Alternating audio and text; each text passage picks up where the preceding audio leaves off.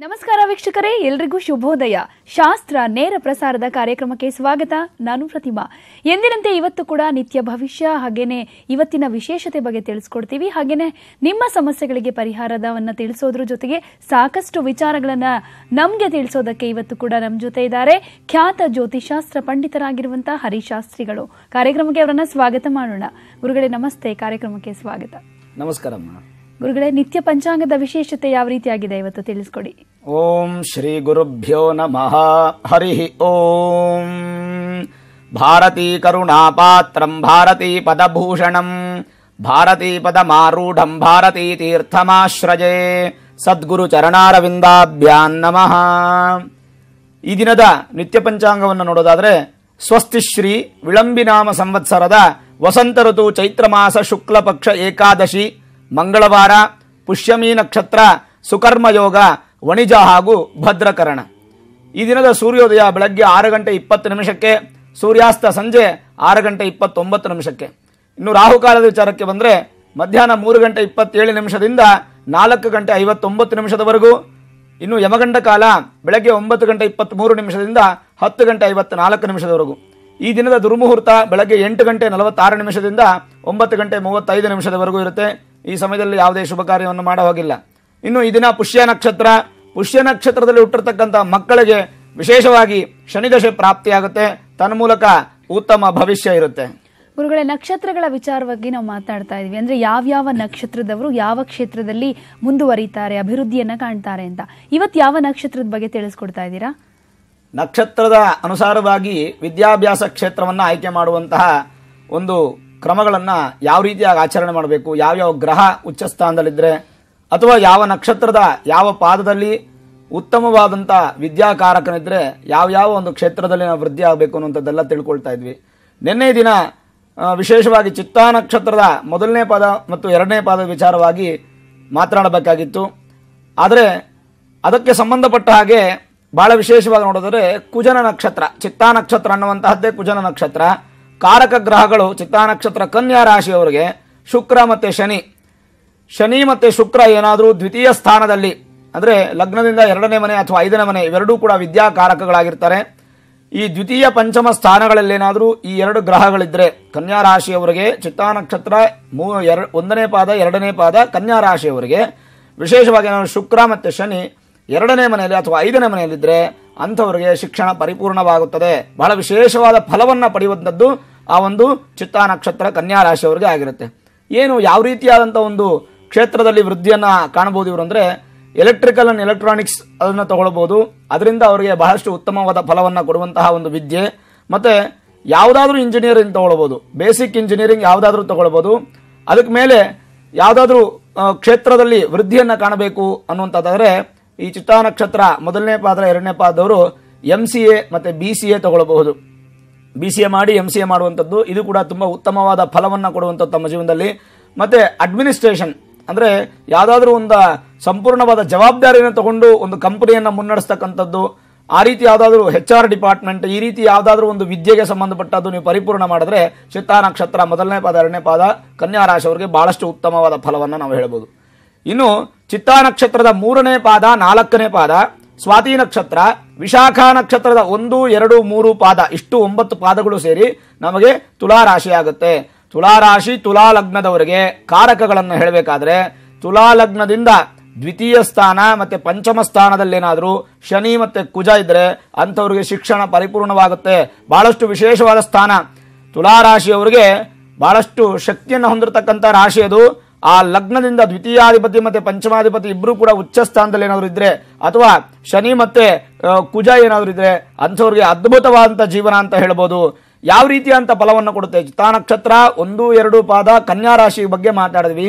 ಮೂರು ಮತ್ತು ನಾಲ್ಕನೇ ಪಾದ ತುಲಾ ರಾಶಿಯ ವಿಚಾರವನ್ನು ಹೇಳೋದಾದ್ರೆ, ವೈದ್ಯಕೀಯ ಸಂಬಂಧಪಟ್ಟ ಹಾಗೆ ಬಹಳಷ್ಟು ವೃದ್ಧಿಯನ್ನು ಕಾಣಬಹುದು.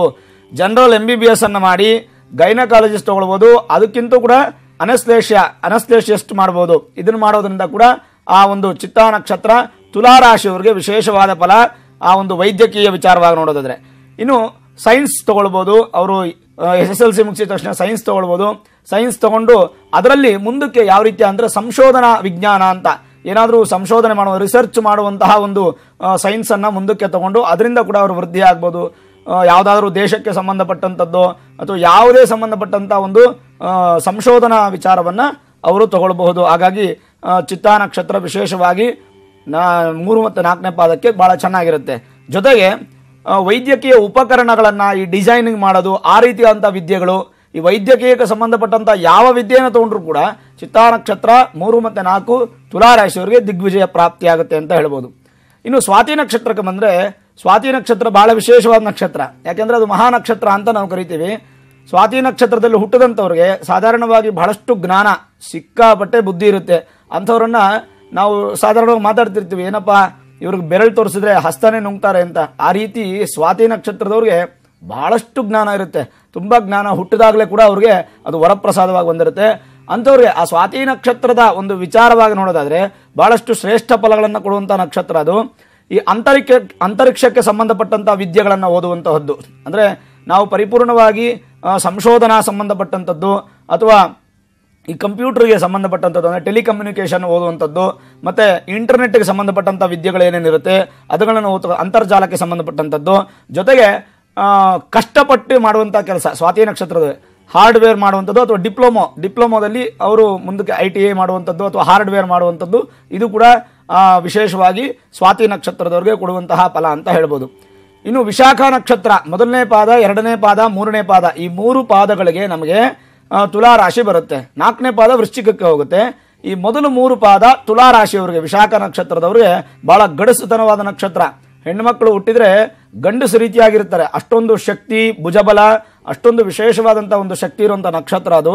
ಆ ವಿಶಾಖ ನಕ್ಷತ್ರ ಮೂರರಿಂದ ನಾಲ್ಕು ವಿದ್ಯೆಯಲ್ಲಿ ಉತ್ತೀರ್ಣರಾಗ್ತಾರೆ. ಅದೇ, ಯಾವ ವಿದ್ಯೆಯನ್ನು ಸಂಪೂರ್ಣವಾಗಿ ಅವರು ಪರಿಪೂರ್ಣ ಮಾಡೋದಿಲ್ಲ.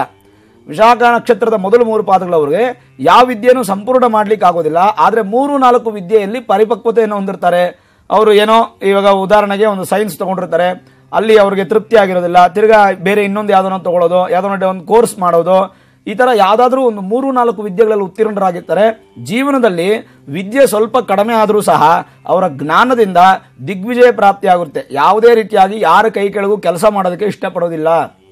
ಈ ವಿಶಾಖ ನಕ್ಷತ್ರ ತುಲಾ ರಾಶಿಯವರಿಗೆ ಯಾರ ಕೈಲೂ ಕೂಡ ಕೆಲಸ ಮಾಡೋದಕ್ಕೆ ಇಷ್ಟಪಡೋದಿಲ್ಲ, ತಲೆ ಭಾಗಕ್ಕೆ ಇಷ್ಟ ಆಗೋದಿಲ್ಲ. ಯಾವಾಗಲೂ ನಾನು ರಾಜನಾಗೇ ಇರಬೇಕು, ಹತ್ತು ಜನಕ್ಕೆ ನಾನು ಕೆಲಸ ಕೊಡಬೇಕು, ನಾನು ಇಂಥ ಸ್ಥಾನದಲ್ಲಿರಬೇಕು, ಮತ್ತೆ ಹಾರೋದು ಜಾಸ್ತಿ. ಅಂದರೆ ಈಗ ಪೈಲಟ್ ಆಗುವಂಥದ್ದು ಅಥವಾ ಫ್ಲೈಟಲ್ಲಿ ಹೋಗಬೇಕು, ಸದಾಕಾಲ ಸುತ್ತಾಡ್ತಾ ಇರಬೇಕು ಅಂತರಿಕ್ಷದಲ್ಲಿ, ಈ ರೀತಿಯಾಗಿ ಮನಸ್ಸಿರ್ತಕ್ಕಂಥವ್ರು. ಹಾಗಾಗಿ ಯಾವ ವಿದ್ಯೆಯಲ್ಲೂ ಕೂಡ ಪರಿಪೂರ್ಣವಾಗದಿದ್ರು ಸಹ ಆ ವಿದ್ಯೆಯಿಂದ ಅವರಿಗೆ ಫಲ ಸಿಗುತ್ತೆ. ಜೀವನದಲ್ಲಿ ವಿಜಯ ಪ್ರಾಪ್ತಿಯಾಗುವಂಥದ್ದು ಖಂಡಿತ ಸಂದೇಹವೇ ಇಲ್ಲ. ಇನ್ನು ವಿದ್ಯೆಯಲ್ಲಿ ಬಹಳಷ್ಟು ಮುಖ್ಯವಾಗಿ ಈ ವಿಶಾಖ ನಕ್ಷತ್ರದ ಮೊದಲು ಮೂರು ಪಾದಗಳನ್ನು ನೋಡೋದಾದರೆ ಅಂಥವರಿಗೆ ದೇಹ ಬ, ದೇಹ ಬಲ ತುಂಬ ಚೆನ್ನಾಗಿರುತ್ತೆ. ಹಾಗಾಗಿ ಅಕಸ್ಮಾತ್ ಏನಾದರೂ ವಿದ್ಯೆಗೆ ಸಂಬಂಧಪಟ್ಟಲ್ಲಿ ಏನಾದರೂ ಸಮಸ್ಯೆಗಳಾದರೆ ಚೆನ್ನಾಗಿ ಓದಬೇಕಾಗಿರ್ತಕ್ಕಂಥದ್ದು ಆದ್ಯ ಕರ್ತವ್ಯ ವಿದ್ಯಾರ್ಥಿಗಳು. ಏನೋ ಎಸ್ ಎಸ್ ಎಲ್ ಸಿ ಮಾಡಬೇಕಾದ್ರೆ ಫೇಲ್ ಆಗಿರ್ತಾರೋ, ಅಥವಾ ಸೆಕೆಂಡ್ ಪಿ ಯು ಸಿ ಮಾಡೋ ಸಮಯದಲ್ಲಿ ಏನೋ ಹೆಚ್ಚು ಕಡಿಮೆ ಆಗಿದ್ರೆ ಅಂಥವ್ರು ವ್ಯಾಪಾರಕ್ಕೂ ಕೂಡ ಬರ್ಬೋದು. ವ್ಯಾಪಾರಕ್ಕೆ ಬಂದಾಗ ಕೂಡ ಅಂಥವ್ರಿಗೆ ಬಹು ವ್ಯಾಪಾರ, ಅಂದ್ರೆ ಮೂರು ನಾಲ್ಕು ತರದ ವ್ಯಾಪಾರಗಳನ್ನು ಮಾಡುವಂತಹ ಒಂದು ವಿದ್ಯೆಯನ್ನು ಕೂಡ, ಈ ವ್ಯಾಪಾರಕ್ಕೆ ಸಂಬಂಧಪಟ್ಟಂಥ ವಿದ್ಯೆಯನ್ನು ಕೂಡ ಓದಬಹುದು ಅದಕ್ಕೇನೋ ಕೋರ್ಸ್ ಇದ್ರೆ ಅದನ್ನು ಓದಬಹುದು ಆ ಥರ ಅಕಸ್ಮಾತ್ ಏನಾದರೂ ಉದ್ಯೋಗದಲ್ಲಿ ವೃದ್ಧಿ ಆಗಲಿಲ್ಲ, ವಿದ್ಯೆಯಲ್ಲಿ ವೃದ್ಧಿ ಆಗಲಿಲ್ಲ ಅಂದ್ರೆ ಅಂಥವ್ರು ವ್ಯಾಪಾರಕ್ಕೆ ಬಂದು ಕೂಡ ವಿಶಾಖ ನಕ್ಷತ್ರದ ತುಲಾ ರಾಶಿಯವರಿಗೆ ಬಹಳಷ್ಟು ವಿಶೇಷವಾದ ಫಲಗಳನ್ನು ಹೇಳ್ಬೋದು. ವಿಶೇಷ ಫಲಗಳ ಜೊತೆಗೆ ವಿಶಾಖ ನಕ್ಷತ್ರದವರಿಗೆ ಇನ್ನೊಂದು ವಿಷಯ ಏನಪ್ಪ ಅಂತಂದರೆ ವಿದೇಶಗಳನ್ನು ಸುತ್ತುವಂತಹ ಒಂದು ಶಕ್ತಿ ಕೂಡ ಅವರಿಗೆ ಇರುತ್ತೆ. ಅಂದರೆ ಯಾವುದಾದ್ರೂ ಒಂದು ವಿದ್ಯೆಗೆ ಸಂಬಂಧಪಟ್ಟವಾಗಿ ನಾನು ಆಗಲೇ ಹೇಳಿದೆ, ಪರಿಪೂರ್ಣವಾಗಿ ಆಗಲಿಲ್ಲ ಅಂದರೂ ಕೂಡ ಸಣ್ಣ ಪ್ರಮಾಣದ ವಿದ್ಯೆ ಕೂಡ ವಿದೇಶಕ್ಕೆ ಹೋಗಿ ಬರ್ತಕ್ಕಂಥದ್ದು, ಸ್ನೇಹಿತರೊಂದಿಗೆ ಹೋಗ್ತಾ ಬರ್- ಬರ್ತಕ್ಕಂಥದ್ದು, ವಿದೇಶಕ್ಕೆ ಹೋಗಿ ಬರುವಂಥದ್ದು ವಿಶಾಖ ನಕ್ಷತ್ರದಿಗೆ ಬಹಳ ಪ್ರಿಯವಾದಂಥ ಒಂದು ವಿಚಾರ ಅಂತ ಹೇಳ್ಬೋದು. ಹಾಗಾಗಿ ವಿದ್ಯೆಯನ್ನು ಅಲ್ಲಿ ಕೂಡ ಓದುವುದು ವ್ಯಾಪಾರವನ್ನು ಕೂಡ ಮಾಡುವಂಥ ಶಕ್ತಿ ಇರುತ್ತೆ ವಿದೇಶಗಳಲ್ಲಿ. ಅಂತಹ ಶ್ರೇಷ್ಠವಾದ ನಕ್ಷತ್ರ ಅಂತ ಹೇಳ್ಬೋದು ವಿಶಾಖ ನಕ್ಷತ್ರ ತುಲಾ ರಾಶಿಯವರಿಗೆ. ಇನ್ನು ಮುಂದಿನ ಮೂರು ನಕ್ಷತ್ರಗಳನ್ನ ಮುಂದಿನ ಮೊದಲು ಮೊದಲು ತಿಳ್- ತಿಳ್ಕೊಳ್ಳೋಣ. ಖಂಡಿತ. ಮುಂದಿನ ಭಾಗದಲ್ಲಿ ಅದ್ರ ಬಗ್ಗೆ ನಾವು ಮಾತನಾಡೋಣ. ಹನ್ನೆರಡು ರಾಶಿಯ ಇಂದಿನ ಫಲಾನುಫಲ ಹೇಗಿದೆ ಅಂತ ತಿಳಿಸ್ಕೊಡಿ. ಈ ದಿನದ ದ್ವಾದಶ ರಾಶಿ ಗೋಚಾರ ಫಲವನ್ನು ನೋಡೋದಾದರೆ ಮೊದಲಿಗೆ ಮೇಷರಾಶಿ ಲಾಭದಾಯಕವಾಗಿದ್ದು ಅನಿರೀಕ್ಷಿತ ಧನಲಾಭ ಪ್ರಾಪ್ತಿ ಶುಭ ಕಾರ್ಯಗಳ ಬಗ್ಗೆ ಆಲೋಚನೆ, ಕುಟುಂಬದಲ್ಲಿ ಸಂತಸದ ವಾತಾವರಣ ಇವತ್ತಿನ ದಿನವಾಗಿರುತ್ತದೆ. ಇನ್ನು ವೃಷಭ ರಾಶಿಯವರಿಗೆ ಶುಭದಾಯಕವಾಗಿದ್ದು, ಹೊಸ ಕೆಲಸದಲ್ಲಿ ನಿರೀಕ್ಷಣೆ ಇರುತ್ತೆ, ಅಂಥವ್ರಿಗೆ ಜಯಪ್ರಾಪ್ತಿ, ವಾಹನ ಖರೀದಿಗೆ, ಖರೀದಿಯ ಬಗ್ಗೆ ಆಲೋಚನೆ ಮಾಡುವಂತಹ ದಿನ, ದೇವಾಲಯ ದರ್ಶನದಿಂದ ಮನಸ್ಸಿಗೆ ನೆಮ್ಮದಿ. ಇನ್ನು ಮಿಥುನ ರಾಶಿಯವರಿಗೆ ಸಾಧಾರಣ ಫಲದಾಯಕವಾಗಿದ್ದು, ಸೋಂಬೇರಿತನ, ದೇಹಾಲಸ್ಯ ಹೆಚ್ಚಾಗಿರುತ್ತದೆ. ಮಧ್ಯಾಹ್ನದ ನಂತರ ಉತ್ತಮ ಫಲ, ಆರೋಗ್ಯದಲ್ಲಿ ಪ್ರಗತಿ, ಧನಲಾಭ ಪ್ರಾಪ್ತಿಯಾಗುತ್ತದೆ. ಇನ್ನು ಮಿಥುನ ರಾಶಿಯವರಿಗೆ ಸಾಧಾರಣಪ್ರದಾಯಕವಾಗಿದ್ದು, ಕರ್ಕಾಟಕ ರಾಶಿಯವರಿಗೆ ಸಾಧಾರಣಪ್ರದಾಯಕವಾಗಿದ್ದು, ವಿಶೇಷವಾಗಿ ಮಿತ್ರರಿಂದ ಸ್ವಲ್ಪ ಸಣ್ಣ ಪುಟ್ಟ ತೊಂದರೆಗಳಾಗುವಂಥದ್ದು, ಸಣ್ಣ ಪ್ರಮಾಣದಲ್ಲಿ ಆರೋಗ್ಯದಲ್ಲಿ ವ್ಯತ್ಯಾಸ, ಭಯದ ವಾತಾವರಣ ಹೆಚ್ಚಾಗಿರುತ್ತದೆ, ಸ್ವಲ್ಪ ಎಚ್ಚರ ವಹಿಸತಕ್ಕಂಥದ್ದು ಒಳ್ಳೆಯದು. ಇನ್ನು ಸಿಂಹರಾಶಿಯವರಿಗೆ ತೃಪ್ತಿದಾಯಕವಾಗಿದ್ದು, ಕೋರ್ಟ್ ಕಚೇರಿಗಳಲ್ಲಿ ಜಯಪ್ರಾಪ್ತಿ, ಸರ್ಕಾರಿ ಕೆಲಸದಲ್ಲಿ ಉತ್ತಮ ಸ್ಥಾನ, ಪ್ರಮೋಷನ್ ಸಿಗುವಂತಹ ದಿನ, ಮತ್ತೆ ನಿರೀಕ್ಷೆಗೆ ಅಭಿವೃದ್ಧಿಯಾಗುವಂತಹ ದಿನ. ಇನ್ನು ಕನ್ಯಾ ರಾಶಿಯವರಿಗೆ ಮಿಶ್ರ ಫಲದಾಯಕವಾಗಿದ್ದು ದೊಡ್ಡ ವ್ಯಾಪಾರಿಗಳಿಗೆ ಉತ್ತಮ ಲಾಭ, ಸ್ತ್ರೀಯರಿಗೆ ಶುಭ ದಿನ, ಬಂಗಾರ ಅಥವಾ ಲೋಹ ಖರೀದಿಗೆ ಉತ್ತಮ ದಿನ ಅಂತ ಹೇಳ್ಬೋದು. ಇನ್ನು ತುಲಾ ರಾಶಿಯವರಿಗೆ ಶುಭದಾಯಕವಾಗಿದ್ದು, ಬಂಧುಗಳ ಆಗಮನದಿಂದ ಮನಸ್ಸಿಗೆ ಸಂತೋಷ, ಪ್ರಯಾಣ ಸಾಧ್ಯತೆ, ದಿನದ ಅಂತ್ಯದಲ್ಲಿ ಮನಸ್ಸಿಗೆ ನೆಮ್ಮದಿ ಧನಲಾಭ ಪ್ರಾಪ್ತಿಯಾಗುವಂತಹ ಉತ್ತಮ ಫಲವನ್ನು ಪಡೆಯಬಹುದು ಇನ್ನು ವೃಶ್ಚಿಕ ರಾಶಿಯವರಿಗೆ ವಿಶೇಷ ಫಲದಾಯಕವಾಗಿದ್ದು, ಹೋಟೆಲ್ ಉದ್ಯಮಗಳಿಗೆ ಉತ್ತಮ ಲಾಭ, ದೊಡ್ಡ ಅಧಿಕಾರಿಗಳಿಗೆ ಶುಭ ಫಲ, ಅದೃಷ್ಟದ ದಿನ ಅಂತ ಹೇಳ್ಬೋದು. ಇನ್ನು ಧನುರ್ ರಾಶಿಯವರಿಗೆ ತೃಪ್ತಿದಾಯಕವಾಗಿದ್ದು, ರೈತರಿಗೆ ಕೃಷಿ ಕ್ಷೇತ್ರದಲ್ಲಿ ಉತ್ತಮ ಅಭಿವೃದ್ಧಿ, ಧನಲಾಭ, ವಿವಾಹದ ವಿಚಾರವಾಗಿ ಜಯಪ್ರಾಪ್ತಿಯಾಗುವಂತಹ ಸಾಧ್ಯತೆಗಳು. ಇನ್ನು ಮಕರ ರಾಶಿಯವರಿಗೆ ಲಾಭದಾಯಕವಾಗಿದ್ದು, ವ್ಯಾಪಾರದಲ್ಲಿ ಬಹುಪಾಲು ಲಾಭ ಪ್ರಾಪ್ತಿ, ಅಭಿವೃದ್ಧಿ, ಸಾಲಬಾಧೆ ನಿವಾರಣೆ, ಅತ್ಯಂತ ಸಂತೋಷ ಪಡುವಂತಹ ದಿನ ಇವತ್ತಿನ ದಿನ ಆಗಿರುತ್ತೆ. ಇನ್ನು ಕುಂಭರಾಶಿಯವರಿಗೆ ಅಶುಭದಾಯಕವಾಗಿದ್ದು, ಆರೋಗ್ಯದಲ್ಲಿ ಸಣ್ಣ ಪ್ರಮಾಣದ ವ್ಯತ್ಯಾಸಗಳಾಗುವಂಥ ಸಾಧ್ಯತೆ, ದೂರ ಪ್ರಯಾಣ, ಸಣ್ಣ ಪ್ರಮಾಣದ ಅಪಘಾತಗಳಾಗುವ ಸಾಧ್ಯತೆಗಳಿರುತ್ತೆ ಎಚ್ಚರ ವಹಿಸಿ ವಾಹನ ಚಾಲೆಯಲ್ಲಿ ಎಚ್ಚರವನ್ನು ವಹಿಸ್ತಕ್ಕಂಥದ್ದು ಒಳ್ಳೆಯದು. ಭಯದ ವಾತಾವರಣ ಸ್ವಲ್ಪ ಪ್ರಮಾಣದಲ್ಲಿ ಕುಂಭರಾಶಿಯವರಿಗಿರುತ್ತೆ. ಇನ್ನು ಮೀನರಾಶಿಯವರಿಗೆ ಮಿಶ್ರ ಫಲದಾಯಕವಾಗಿದ್ದು ಹಿರಿಯರ ಆಶೀರ್ವಾದ ಸಿಗುವಂತ ದಿನ. ದೇವಾಲಯ ದರ್ಶನ ಸ್ಥಿರ ಆಸ್ತಿ ಖರೀದಿಯ ಬಗ್ಗೆ ಮನಸ್ಸು ಶುಭ ಕಾರ್ಯಗಳು ಶುಭ ಸಮಾಚಾರಗಳು ನಿಮಗೆ ಕೇಳಿ ಬರುತ್ತೆ ತನ್ಮೂಲಕ ಮನಸ್ಸಿಗೆ ಬಹಳಷ್ಟು ಸಂತೋಷ ನೀಡುವಂಥ ದಿನವಾಗಿರುತ್ತಮ್ಮ. ಒಬ್ರು ಕಾಲರ್ ಇದ್ದಾರೆ ಮಾತಾಡೋಣ ಗುರುಗಳೇ. ಚಾಮರಾಜನಗರದಿಂದ ರವಿ ಕಾಲ್ ಮಾಡಿದ್ದಾರೆ. ನಮಸ್ತೆ ರವಿ ಅವರೇ. ನಮಸ್ಕಾರ ಮೇಡಮ್ ನಮಸ್ತೆ. ಯಾರ ಬಗ್ಗೆ ಕೇಳ್ತಿದ್ದೀರಾ? ನಮ್ಮ ಹುಡುಗನ ಬಗ್ಗೆ ಮೇಡಮ್. ಅವರ ಹುಟ್ಟಿದ ದಿನಾಂಕ ಸಮಯ ತಿಳಿಸ್ತೀರಾ? ಹಾ ಹೇಳಿ ಸ್ವಲ್ಪ ಜೋರಾಗಿ ಮಾತಾಡಿ. ಹದಿನೈದು. ಹದಿನೈದು. ಮೇ. ಮೇ. ಸಾವಿರದ ಒಂಬೈನೂರ ತೊಂಬತ್ತೇಳು. ಸಾವಿರದ ಒಂಬೈನೂರ ತೊಂಬತ್ತೇಳು. ಹದಿನೈದು ಮೇ ತಿಂಗಳಲ್ಲಿ ಸಾವಿರದ ಒಂಬೈನೂರ ತೊಂಬತ್ತೇಳು. ಸಮಯ ತಿಳಿಸಿ. ನಾಲ್ಕು ಐವತ್ತು. ಸಂಜೆನಾ ಬೆಳಗ್ಗೆನಾ?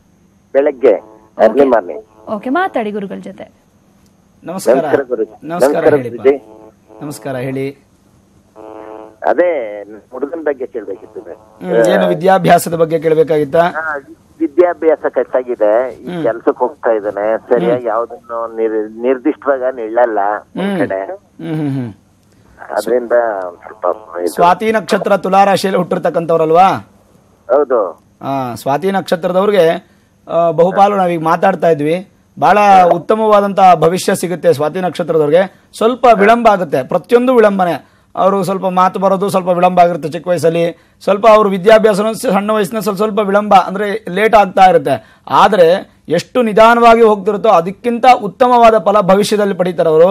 ಬಹಳ ಸುಂದರವಾದಂಥ ಒಂದು ಜೀವನ ಇದೆ ಅವರಿಗೆ. ಇಪ್ಪತ್ತಾರು ವರ್ಷದವರೆಗೂ ಸಾಧಾರಣವಾಗಿರುತ್ತೆ.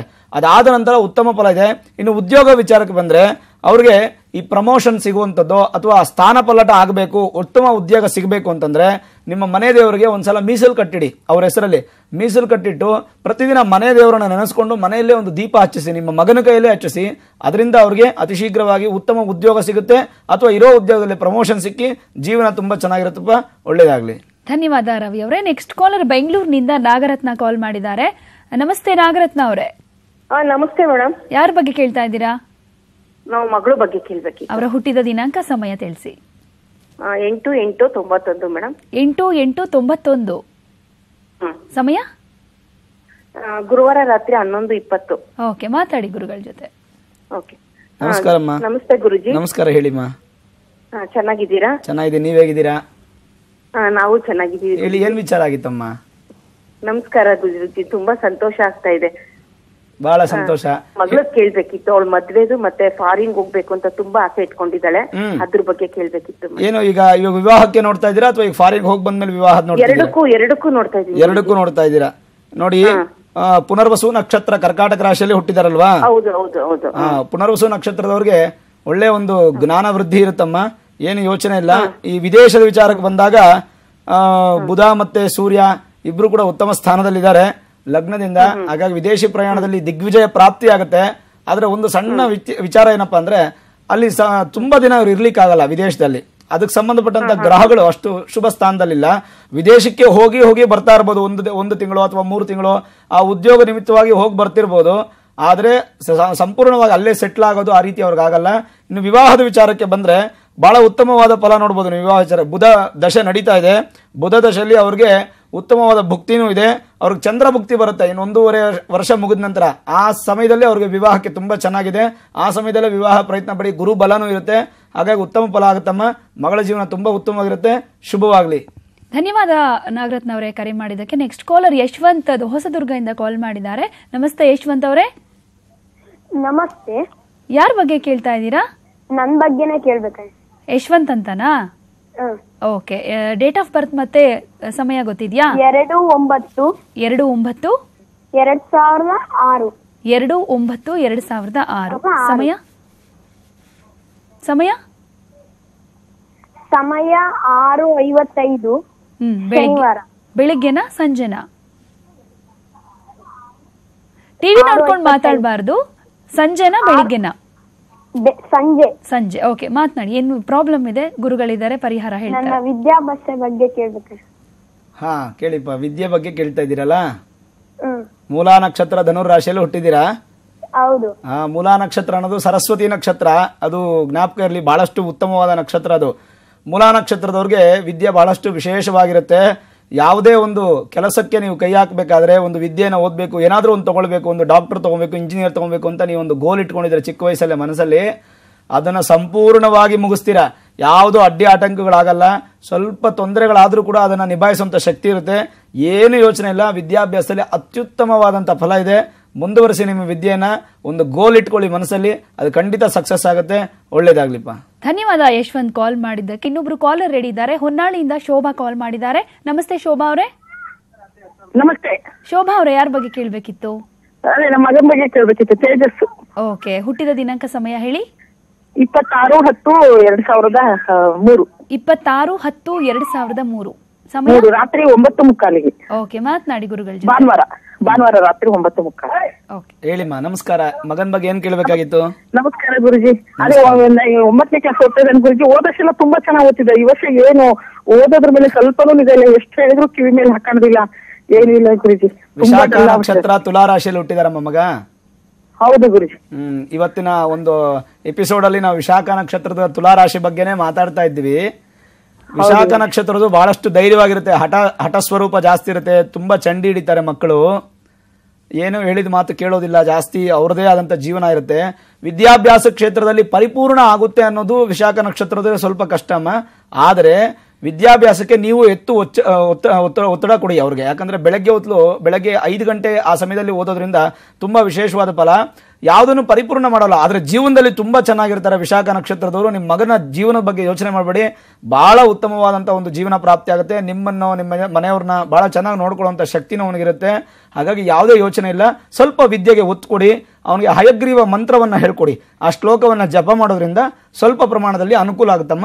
ಒಳ್ಳೇದಾಗ್ಲಿ ಧನ್ಯವಾದ ಕರೆ ಮಾಡಿದ್ದಕ್ಕೆ ಶೋಭಾ ಅವರೇ. ಇನ್ನು ಗುರುಗಳೇ, ನಕ್ಷತ್ರದ ವಿಚಾರವಾಗಿ ಮಾತಾಡೋದಾದ್ರೆ ಈಗ ಯಾವ ನಕ್ಷತ್ರದ ಬಗ್ಗೆ ಹೇಳ್ತೀರಾ? ಆ ನಕ್ಷತ್ರದಲ್ಲಿ ಹುಟ್ಟಿದವರು ಯಾವ ರೀತಿ ಏಳಿಗೆಯನ್ನು ಕಾಣ್ತಾರೆ? ವಿಶಾಖ ನಕ್ಷತ್ರದ ತುಲಾರಾಶಿ ಬಗ್ಗೆ ಮಾತಾಡಿದ್ವಿ. ಇನ್ನು ವಿಶಾಖ ನಕ್ಷತ್ರದ ನಾಲ್ಕನೇ ಪಾದ ವೃಶ್ಚಿಕ ರಾಶಿ, ಮತ್ತೆ ಅನುರಾಧ ನಕ್ಷತ್ರದ ನಾಲ್ಕು ಪಾದಗಳು, ಮತ್ತು ಜ್ಯೇಷ್ಠ ನಕ್ಷತ್ರದ ನಾಲ್ಕು ಪಾದ ಈ ಒಂಬತ್ತು ಪಾದಗಳು ಸೇರಿ ನಮಗೆ ವೃಶ್ಚಿಕ ರಾಶಿ, ವೃಶ್ಚಿಕ ಲಗ್ನ ಅಂತ ಹೇಳ್ಬೋದು. ವೃಶ್ಚಿಕ ಲಗ್ನದಿಂದ ಆ ಲಗ್ನ ಕಾರಕಳಾಗಿರ್ತಕ್ಕಂಥ ವಿದ್ಯಾಕಾರಕರು ಅಂದ್ರೆ ಎರಡನೇ ಮನೆಗೂ ಅಧಿಪತಿ ಗುರುನೇ, ಐದನೇ ಮನೆಗೂ. ಲಗ್ನಾತ್ ದ್ವಿತೀಯ ಪಂಚಮಃ. ಎರಡನೇ ಮನೆ, ಐದನೇ ಮನೆ, ಎರಡಕ್ಕೂ ಗುರು ಒಬ್ಬನೇ ಅಧಿಪತಿ ಆದ್ರಿಂದ ಗುರು ಏನಾದರೂ ಅವರಿಗೆ ಬಲಿಷ್ಠವಾಗಿದ್ದರೆ ಜಾತಕದಲ್ಲಿ ಅಂಥವರಿಗೆ ಶಿಕ್ಷಣ ಪರಿಪೂರ್ಣವಾಗುತ್ತೆ. ಉತ್ತಮವಾದ ಶಿಕ್ಷಣದ ಭವಿಷ್ಯ ಈ ಒಂದು ವೃಶ್ಚಿಕ ರಾಶಿಯವರಿಗೆ ಇರುತ್ತೆ. ಅದರಲ್ಲಿ ನಾವು ಮುಖ್ಯವಾಗಿ ವಿಶಾಖ ನಕ್ಷತ್ರದ ನಾಲ್ಕನೇ ಪಾದ, ಮೂರು ಪಾದಗಳ ಬಗ್ಗೆ ಮಾತಾಡಿದ್ವಿ ತುಲಾರಾಶಿ ಅದು. ನಾಲ್ಕನೇ ಪಾದ ವೃಶ್ಚಿಕ ರಾಶಿ ಬಗ್ಗೆ ಮಾತಾಡೋದಾದ್ರೆ, ಈ ವೃಶ್ಚಿಕ ರಾಶಿಯವರಿಗೆ ಬಹಳಷ್ಟು ಈ ನ್ಯಾಯಶಾಸ್ತ್ರದ ಬಗ್ಗೆ ಹೆಚ್ಚು ಗಮನ ವಹಿಸ್ತಕ್ಕಂಥದ್ದು, ಬಹಳ ಆಸೆ, ಲಾ ಓದಬೇಕು ಅನ್ನುವಂಥದ್ದು ತುಂಬ ಆಸೆ ಇರುತ್ತೆ ಅವರಿಗೆ. ಅದರಲ್ಲಿ ಆಮೇಲೆ ತುಂಬ ಮಾತಾಡುವಂಥ ಒಂದು ಶಕ್ತಿ ಅವ್ರಿಗೆ ಇರುತ್ತೆ. ವಾಗ್ಮಿಗಳಾಗಿರ್ತಾರೆ. ತುಂಬ ಏನೇ ಮಾತಾಡಿದ್ರು ಕೂಡ ಏನೇ ಪ್ರಶ್ನೆ ಕೇಳಿದ್ರು ಸಮಾಧಾನ ಹೇಳುವಂಥ ಒಂದು ಶಕ್ತಿ ಇರುತ್ತೆ. ಹಾಗಾಗಿ ಅವರು ಲಾಯರ್ ಆಗುವಂಥದ್ದು, ನ್ಯಾಯಶಾಸ್ತ್ರವನ್ನು ಓದುವಂಥದ್ದು ಬಹಳ ವಿಶೇಷವಾಗಿರುತ್ತೆ. ಮತ್ತೆ ಬಿ ಇಂಜಿನಿಯರಿಂಗ್ ಮಾಡುವಂಥದ್ದು ಅದು ತುಂಬ ಚೆನ್ನಾಗಿರುತ್ತೆ. ರಿಸೋರ್ಸಸ್, ಎಚ್ ಆರ್ ಡಿಪಾರ್ಟ್ಮೆಂಟ್ಗೆ ಸಂಬಂಧಪಟ್ಟಂಥ ವಿದ್ಯೆಯನ್ನು ವಿದ್ಯೆಯನ್ನು ಓದುವಂಥದ್ದು. ಆಮೇಲೆ ಒಂದು ನಾಯಕತ್ವದ ಗುಣಗಳು ತುಂಬ ಇರುತ್ತೆ ಅವ್ರಿಗೆ. ಹಾಗಾಗಿ ಯಾವುದೇ ಒಂದು ವಿದ್ಯೆಯಲ್ಲಿ ನಾಯಕತ್ವ ಸಂಬಂಧಪಟ್ಟಂತಹ ವಿದ್ಯೆಯನ್ನು ಓದುವಂಥದ್ದು ಬಹಳ ವಿಶೇಷವಾಗಿರುತ್ತೆ ಅವ್ರಿಗೆ. ಜೊತೆಗೆ ಭೂವಿಜ್ಞಾನ ಮಾಡುವಂಥದ್ದು, ಈ ಕ್ಯಾಟಲ್ ಫೀಲ್ಡ್ಸು ಮತ್ತೆ ಪೌಲ್ಟ್ರಿ ಫಾರ್ಮ್ಸ್ ಅದಕ್ಕೆ ಸಂಬಂಧಪಟ್ಟಂಥ ವಿದ್ಯೆ ಹಸು ಸಂಬಂಧಪಟ್ಟಂಥದ್ದು, ಆ ರೀತಿಯಾದಂಥ ವಿದ್ಯೆಗಳನ್ನು ಕೂಡ ಕಲಿಯುವಂಥದ್ದು ವಿಶಾಖ ನಕ್ಷತ್ರದ ನಾಲ್ಕನೇ ಪಾದದವರಿಗೆ ತುಂಬ ಚೆನ್ನಾಗಿರುತ್ತೆ. ಇನ್ನು ಅನುರಾಧ ನಕ್ಷತ್ರ, ಮಹಾನಕ್ಷತ್ರ, ಬಹಳ ಉತ್ತಮವಾದ ನಕ್ಷತ್ರ. ಇದರಲ್ಲಿ ಆ- ವಿಶೇಷವಾಗಿ ಏನಪ್ಪ ಅಂತಂದ್ರೆ ಅನುರಾಧ ನಕ್ಷತ್ರಕ್ಕೆ ತನ್ನದೇ ಆದಂಥ ಸ್ಥಾನ ಇದೆ.